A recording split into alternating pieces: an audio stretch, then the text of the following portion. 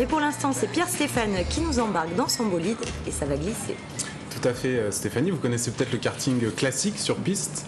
Étienne, vous pratiquez? Ah oui, oui, ça m'est arrivé. Ouais, Vous avez déjà sympa. essayé Ouais, Bon, ouais. C'est sympa, ça dérape, ça va vite, c'est pas évident à conduire et je vous propose encore plus difficile. C'est une innovation qui débarque en Provence, le karting sur glace.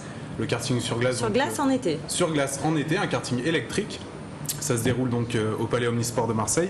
Donc comme dans tout sport mé- mécanique, il faut d'abord euh, se protéger. On commence par, euh, par mettre un casque, des gants, parce que mine de rien sur la patinoire il fait frais, environ 10 degrés. Quelques ultimes vérifications de la part du staff technique et c'est parti. Donc là l'image vous voyez donc euh, la prise électrique qui recharge les, les cartes. Euh, le fonctionnement de ces, de ces cartes électriques est plutôt simple. Bon, un volant, une pédale d'accélération, une autre de frein. Jusque-là, ça va, on devrait y arriver. Euh, néanmoins, je vous conseille de, de vous méfier. Le freinage sur glace, c'est sportif et c'est même plutôt risqué. Euh, Dans le kart, donc, on trouve un tout petit moteur électrique. Euh, C'est une innovation qui est très récente. Il est bridé, donc là, il permet d'aller à 15-20 km/h sur la glace. Ça paraît pas beaucoup, mais j'ai l'impression que vous allez me dire qu'en fait c'est énorme. Tout à fait, Stéphanie. C'est- sur Sur, glace. c'est déjà pas mal parce que bah, parce qu'on on contrôle pas grand-chose en fait. On passe son temps à déraper, euh, ça n'arrête pas. Vous avez déjà fait euh, du karting, Aurélie? Non, jamais. Mais je sais qu'on peut faire du, du quad aussi sur glace. Et c'est la même sensation de dérapage. Alors le but du karting sur glace, c'est quoi? C'est on n'est pas dans la compétition, on est là pour passer un bon moment entre amis ou en famille. Les glissades s'enchaînent, les sensations de conduite sont plutôt sympas. On glisse, euh, dans le jargon, on dit qu'on drift. On Des drift. glissades, on drift. Bah. Euh, chaque session compte 5 savez pilotes au maximum. Euh, ils vont tourner sur la piste environ une, une dizaine de minutes, une, une dizaine de minutes pour faire une vingtaine de tours. Euh, ça peut paraître court, mais bon, le, le temps passe, euh, passe Est-ce que agréablement. c'est fatigant Non, c'est pas fatigant, c'est plutôt, plutôt sympa, plutôt agréable comme activité. Et à la fin de la session, euh, le, donc le staff vous remet un petit, un petit euh, résumé des, des résultats. Euh, donc des résultats de course, du temps de course approximatif, etc. Et je vous laisse deviner ma position. Durant la session, je suis arrivé bon dernier. donc euh, qu'est-ce que vous en pensez de- du kart électrique, Stéphanie? Bah, Écoutez, ça a l'air plutôt sympa, mais alors vous dites électrique, est-ce qu'il y a une vocation écolo là-dedans? Alors il y a, une, il y a une- une vocation marketing écolo, ce qu'on appelle un peu le greenwashing. Euh, bon, euh, l'entreprise joue un peu là-dessus, elle appelle ça du green kart. Parce que j'ai du mal à concevoir que du kart, même électrique, puis, Ouais, on, on puisse peut en discuter parce que c'est du kart déjà sur une patinoire, donc une patinoire en soi c'est pas du tout écolo. hein. Oui, c'est vrai que euh, c'est la première question qu'on peut déjà se poser. Bon ça c'est la, la- la C'est première clair. question. Et puis l'électricité elle, elle vient pas de rien, les produits soit du nucléaire, soit d'autres sources, euh, d'autres sources qui sont controversées au niveau euh, écologique. Écologique, je n'irai pas jusque là, mais en tout cas sympathique, ça c'est sûr. Euh, Au j'étais, niveau- j'étais, oui. Au niveau des roues, euh, Alors les roues sont cloutées en fait, il y a 120 clous sur chaque roue, ce qui permet de garder un certain équilibre, mais bon, euh, c'est quand même assez ça instable. de hein. déraper quand même euh, pas mal. Ça dérape pas mal. Il faut, euh, c'est pour ça que c'est bridé en fait, parce que sinon on finit et dans si le on décor à tombe, tous les on peut coups. pas se faire mal, enfin on peut se Non, retourner. il y a plein, il y a plein de protections. On risque pas de tomber, on va pas assez vite pour, pour pouvoir tomber. J'étais intrigué par le fonctionnement de, de ces petits bolides électriques. Et donc je vous propose d'écouter le, gérant de la société Green Cart qui nous explique le fonctionnement de, ces cartes.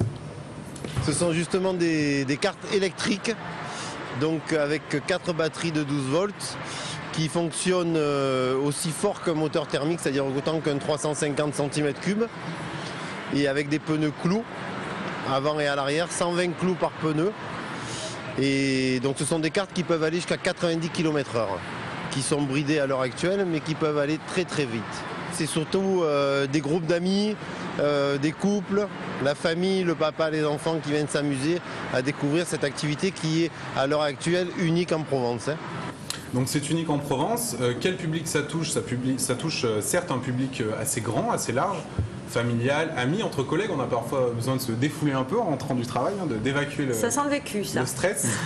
Euh, il y a toutefois une limite de sécurité, c'est l'âge et la taille. À partir de 12 ans, il faut faire 1m35 pour des questions évidentes de sécurité. petits, il faut toucher euh, les pédales. Quoi. Ouais, ouais. Moi, à 12 ans, je suis pas sûre que je faisais 1m35. Eh bien, vous n'auriez pas pu donc euh, pratiquer le kart électrique. Euh, une, une petite originalité, donc la société Green Kart et le Palais Omnisport de Marseille proposent même de privatiser pour une soirée, notamment pour les entreprises, euh, le, le circuit de karting et de, de passer là une soirée euh, entre guillemets incentive euh, entre, entre collègues d'une société. À quel prix Malheureusement, ils n'ont pas voulu me communiquer les prix. Il faut, il faut se renseigner directement euh, avec eux. Eh oui. Donc c'est tout nouveau dans la région, ça marche bien et je vous propose d'écouter les, les réactions du public euh, que j'ai pu rencontrer euh, au Palais Omnisport de Marseille. Ça fait une sensation de drift, plus de drift que de, que de course ou de vitesse, c'est plus une sensation de, de virage, de dérapage. Bah, c'est sympa, euh, ça fait une rupture totale avec les codes de course normaux. On peut, euh, On prend des trajectoires qui sont totalement différentes. Il y a la sensation de glisse qui est, qui est assez sympa. Donc euh, voilà, c'est une très bonne expérience. C'est bien, c'est complètement différent du karting sur piste. Le plaisir de la glisse et de, des drifts et partir en contre-braquage, c'est pas mal. Franchement, c'est complètement différent que sur le bitume, mais euh, c'est à essayer à tout prix. quoi. C'est un bon, euh, un bon moment à passer. Donc Stéphanie, quelques infos pratiques pour, euh, pour conclure. Dites-nous Ça se passe donc au Palais Omnisport jusqu'à la fin du mois de juillet pour l'été. Euh, Et c'est terminé, on peut plus. euh, Jusqu'à la fin du mois de juillet, en fait, ça se déroule tous les mardis et mercredis. Mais euh, l'activité reprendra ou devrait reprendre à partir d'octobre jusqu'à fin décembre. Euh, ça devrait se dérouler donc les jeudis et les vendredis. Mais là, au mois de juillet, pour le public, euh, c'est les mardis et les mercredis de 18h à 22h. Le tarif est relativement accessible, c'est 15 euros pour, les, pour 10 minutes de, de course. Ah, ça va. C'est pas Je excessif. pensais que ça serait plus cher.